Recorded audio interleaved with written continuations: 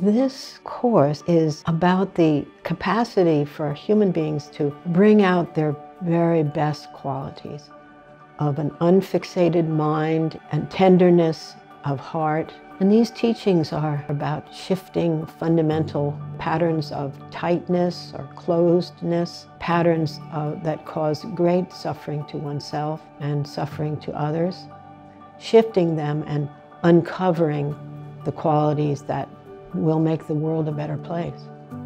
The tendency to feel separate from other people gets reversed in this practice, and instead you stand in other people's shoes. There's some sense of being not only in the same boat, but of our sameness.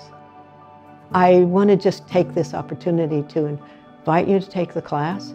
I think you'll find it really rewarding. You may be familiar with these teachings and then it will still be very rewarding. And if you've never heard them before, I think it will be a, a life changer.